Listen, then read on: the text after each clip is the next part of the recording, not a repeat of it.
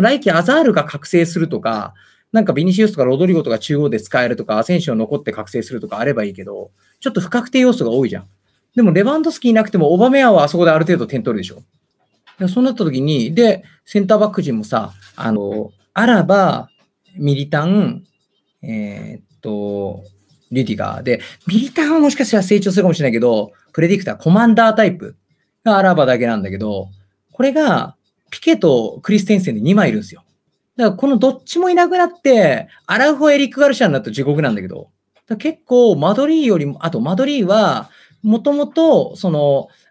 あの、でかい大会とかビッグマッチは活躍するっていうか、そういう選手を取ってくるようにしてんだって、レアル・マドリーの流儀って本に書いてある。で、それって逆に言うと、ビッグマッチじゃないとモチベーション下がって手を抜いてるっていうより、そういう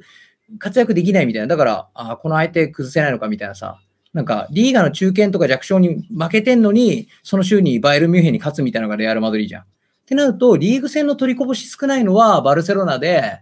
今さ、バルサーがリーグ優勝します。マドリーがしませんって言ったら、とんでも論に聞こえるじゃん。でも実際にこういうふうに喋っていくと、ああ、確かになって思ってくるでしょ。で、アトリチコがちゃんとセンターバック取ったりとか、なんか、それしない限り、普通に僕は、ラリーガはバルサが取るんじゃないかなと思ってますけどね、今のままなら。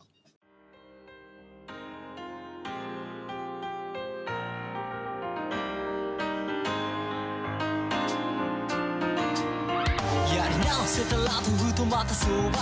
くいつかられる笑える冗談